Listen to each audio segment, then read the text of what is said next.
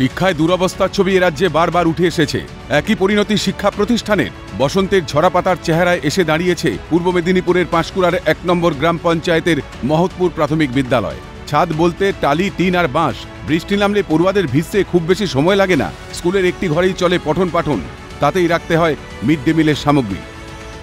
বর্ষার সময় বৃষ্টিতে জল পড়ে মাঝে মধ্যে ঝড়ের সময় মাটি পড়ে পায়রা মরে পড়ে থাকে চামচিকা মরে পড়ে থাকে মাঝে মধ্যে আমরা যখন ক্লাসে ঢুকি পায়রা উঠতে থাকে।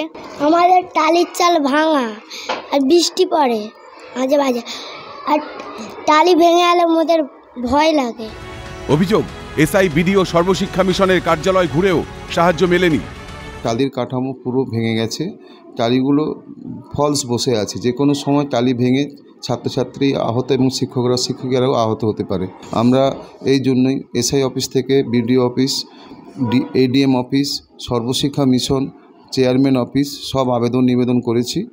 শুধু আমাদের কিছু দরকার নেই। শুধু ওই শেডটা, যে ছাদটা হয় কংক্রিটের ছাদ হোক, নতুবা টিন বা অ্যাডভেস্টারের ছাদ হোক। পরিকাঠামো বলতে আমাদের স্কুলটা প্রায় ভগ্নদশা হয়েছে দীর্ঘদিন ধরে।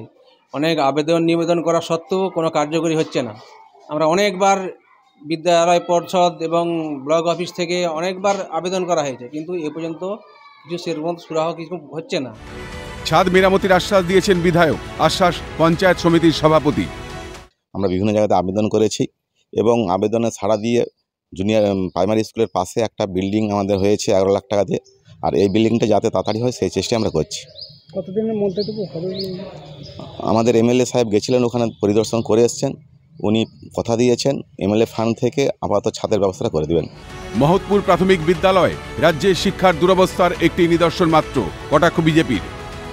সেই বিদ্যালয়ের পরিকাঠামোর জন্য যে অর্থ সেই অর্থ কাটমানি খেয়ে সেই পরিকাঠামো ব্যবস্থাটাকেও সম্পূর্ণ নষ্ট করে দিয়েছে লোকাল তৃণমূল কংগ্রেসের নেতা থেকে একেবারে উচ্চতর শিক্ষামন্ত্রী পর্যন্ত।